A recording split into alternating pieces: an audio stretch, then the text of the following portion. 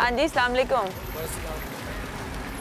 ये कहाँ लेके जा रहे हैं? ये जो है ना ये बेसहारा है बेसहारों का।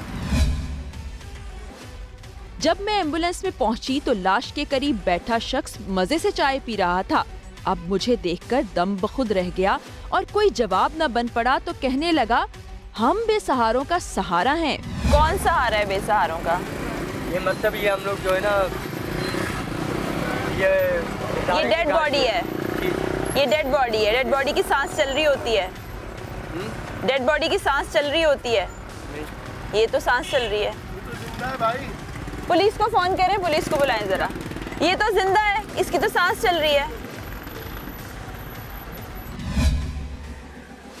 ज़िंदा लाश जिसकी चलती सांस बासानी हम देख पा रहे थे उनको एक लम्हा ख्याल न आया कि अगर वो पार्टी जिससे इन्होंने पैसे वसूल करने थे वो उसकी चलती साँसें देखते तो क्या होता? मगर आदि मुजरिम अपने एतमाद से ही पकड़ में आते हैं जो आज इनके साथ हो गया। ये आदमी तो ज़िंदा है। आप जरा हटें आपको नज़र नहीं आ रहा कि इसकी सांस चली? कैसे इसको आपने कफन पहना के और इस तरह बिठाया हुआ है? वो देखें उसकी सांस चल रही है।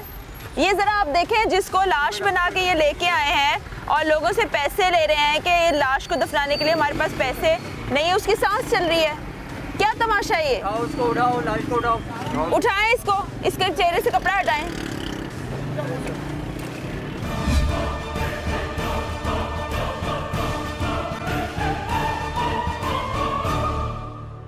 ये पहली मरतबा आपने देखा है कि कोई लाश जो है वो उठ के बैठ गई है और वो ज़िंदा होगी। बाहर आए ना आप प्लीज़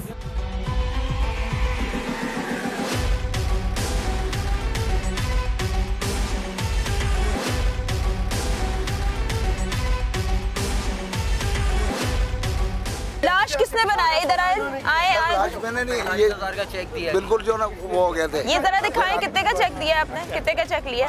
ये भाई ने मैंने बोला पुलिस को जरा कॉल कर ले। अच्छा जी ये पैंतालीस हज़ार रुपए का चेक लिया है इन्होंने।